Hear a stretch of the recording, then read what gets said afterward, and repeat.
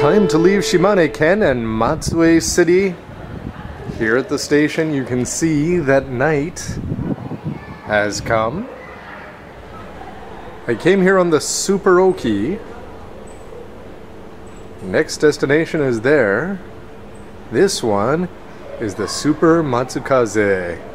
But I have a bad feeling about this.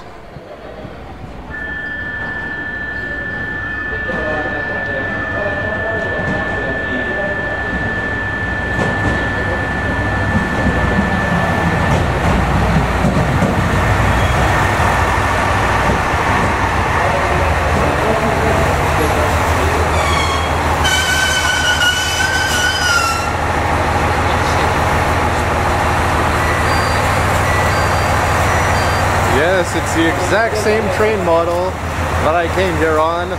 This time, I'll just be taking it to the end in the next prefecture.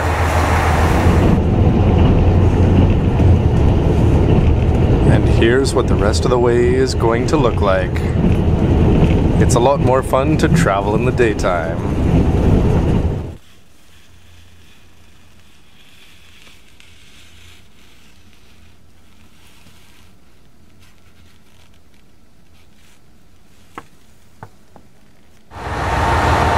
And with that,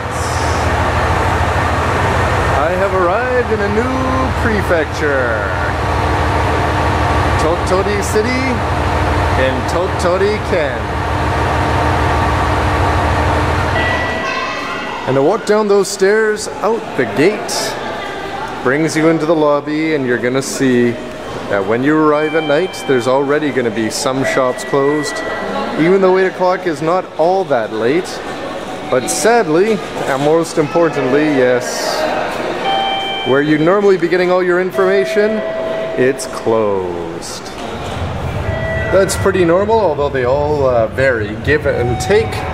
But more importantly, quite nice that even though it's nighttime, they are going to be leaving out some instructions and at least a schedule there for the trains and a local map.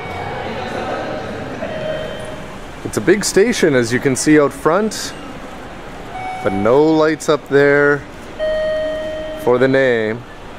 Maybe they'll come on after a certain time. And a little bit of decoration.